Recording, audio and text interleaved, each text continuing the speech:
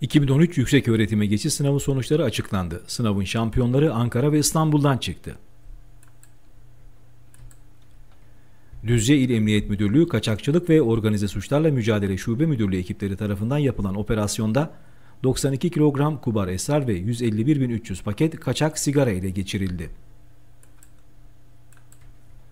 Düzce Belediyesi tarafından belediye sınırları içinde 49 mahalleyi kapsayacak şekilde planlanan bahar temizliği kampanyası başlatıldı. Bahar temizliği programı gereği ilk olarak Mergiç ve Aziziye mahallelerinde yapıldı.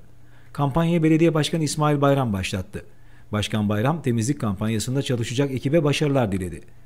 Mahallelerde çevre temizliği konusunda topyekün bir seferberlik başlatıldı. Düzce Milletvekili İbrahim Korkmaz, Düzce Üniversitesi'nin ek binalarının gecikmesi konusuna değindi. Binaların yapımının Korkmaz tarafından engellendiği tartışmalarına hiçbir ilgisinin olmadığını dile getirdi. AK Parti il binası önünde basın açıklaması yapan Düzce Çalışan Gazeteciler Derneği üyeleri basının önüne set konulmasını kınadıklarını açıkladılar. Krem Park AVM'nin birinci açılış yıl dönümü nedeniyle Düzce Belediye Başkanı İsmail Bayram, Düzce AK Parti İl Başkanı Metin Kaşıkoğlu, AK Parti Halkla İlişkiler Başkanı Oya Kocaman ve diğer il yönetim kurulu üyeleri Krem Park AVM'yi ziyaret ettiler. Düzce Belediye Meclisi'nin Nisan ayı 1. birleşiminin birinci oturumu yapıldı.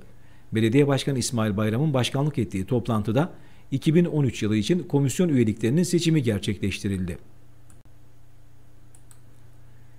Diyanet İşleri Başkanlığı 2013 yılı haç organizasyonuyla kutsal topraklara gitmek isteyen hacı adaylarının heyecanla beklediği kura çekimini gerçekleştirdi. Düzce Müftülüğü'nden yapılan açıklamada ise 2013 yılı hac kayıtları ile ilgili olarak ön kayıt yaptıran ve kuraya giren ilimiz toplam hacı adayı sayısı 7400 olup ilimize değişik kategorilerde toplam 358 hac kontenjanı verilmiştir.